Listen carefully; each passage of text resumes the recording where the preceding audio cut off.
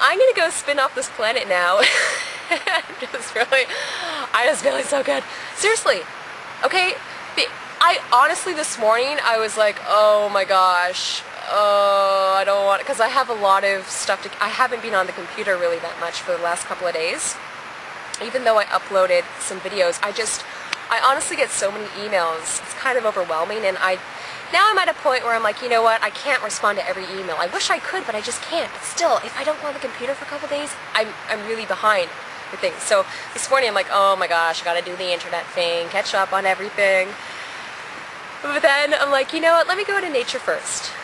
And, and that's something that I really recommend you do before you start your day. If you have an office job, go to a park, hug some trees. If you can, maybe not walk around barefoot because you never know there could be glass. Like if you're in a city, it might not be the best idea to work to walk around in a public park. But what you can do is just sit somewhere and take your shoes off, take your socks off, and put your feet on the ground and just allow Mother Earth to heal you.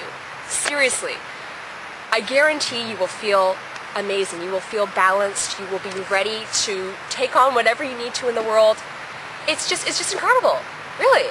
I mean, look at me. Look how happy I am. And I just came out in nature and I was hugging trees and just running around. Have a beautiful day, people. Go out in nature. Seriously, go out in nature every single day. It's so important. Okay? Awesome. Talk to you later, guys. Peace out.